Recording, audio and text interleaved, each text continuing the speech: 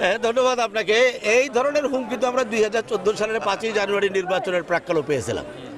এদেশের কিছু রাজনৈতিক নেতৃবৃন্দ আছে যারা দেশের মানুষের কাছে ভোট নাচে বিদেশি প্রভুদের কাছে যায় ধর্ণা পাতায় যে ভোটটা বন্ধ করে দেন।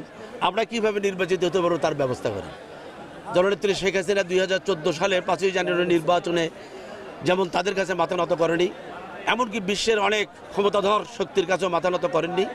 এবারের নির্বাচনে তিনি নিশ্চয়ই ওই ধরনের বক্তব্যের প্রতি কোনো প্রকার মাতানত করবেন না।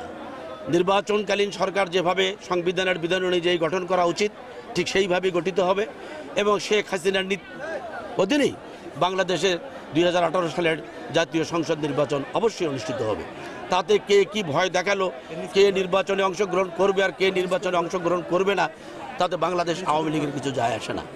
বাংলাদেশ আওয়ামী লীগ মনে করে, বাংলার মানুষ যদি আওয়ামী লীগকে বাংলাদেশের মানুষের সেবা করার সুযোগ দেয় সেই সুযোগ তারা নিশ্চয়ই গ্রহণ করবে।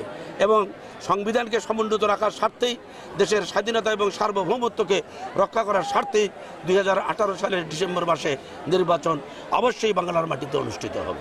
স্যার একটি বিষয় আপনি তাদের তাদের দুরভিসন্ধি তো দুই হাজার চোদ্দ সালেও ছিল। ওয়ান ওয়ান ইলেভেনের ধারক বা বাহক তো তারাই ছিলেন। তারা মনে করেছিলেন যে ওনারা নিয়ে যায় ওনাদেরকে গতিতে বসিয়ে দেবেন। আমরা সংবিধানের যে সংশোধন করেছি, যে সংশোধনীটা আমরা করেছি, এই সংশোধনীর মাধ্যমে ওই যারা ওই ওয়ান এলেভেন সৃষ্টি করে ক্ষমতা আসতে চায়, তাদের আশায় বালি পড়বে।